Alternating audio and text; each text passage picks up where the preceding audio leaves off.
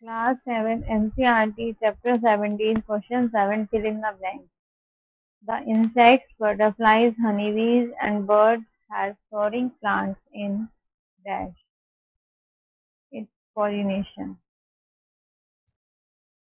B. A forest is a purifier of dash and dash. It's air and water. C. Herbs from the dash layer in the forest lowest. The decaying leaves and animal dick dropping in the forest enrich the soil.